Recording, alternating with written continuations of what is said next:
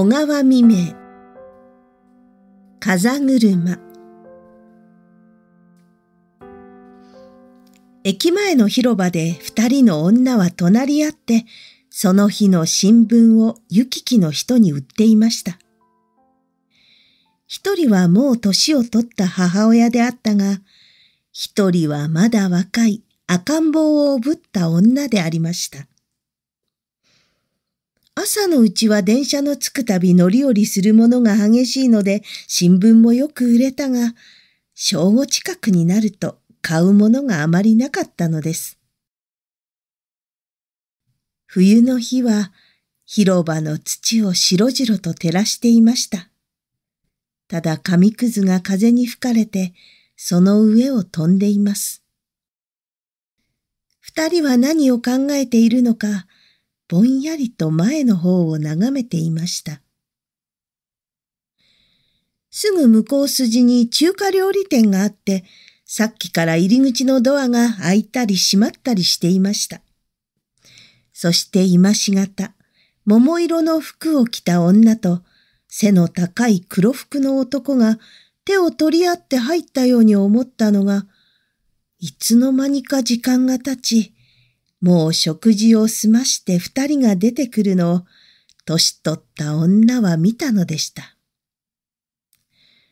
彼女は、うちの息子はまだこんな上等のところを知らないだろう、と思いました。それは母親にとって嬉しいことであり、またかわいそうなことであるような気がしました。夕べのこと。息子は工場から帰ると、破れた仕事服のポケットを探り、金を取り出して、お母さん、映画を見に行っていらっしゃい。お正月だもの。と前へ差し出したのでした。その汚れた手を見るうち、ふと幼い頃、お前の手は誰に似て丸くて可愛らしいのだろうと、よく言ったことが記憶に浮かんだのです。そしてその手が今、私たちの暮らしを立てていると思うと、泣かずにいられませんでした。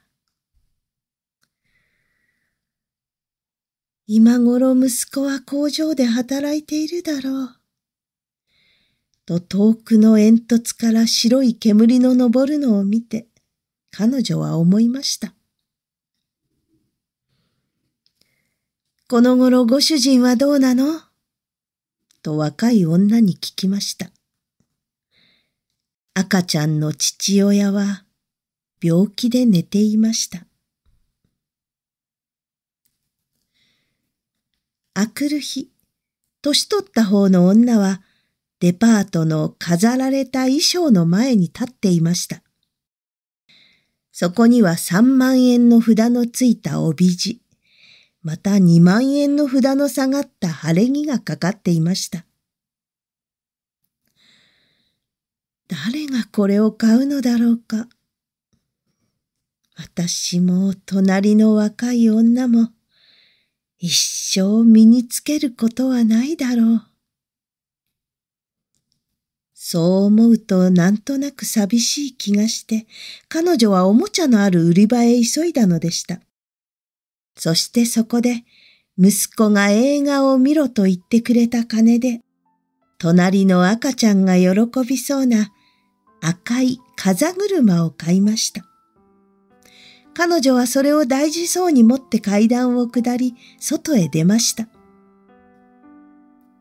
冷たい風にセルロイドの風車はさらさらと乾いた音を立てて回るのでありました。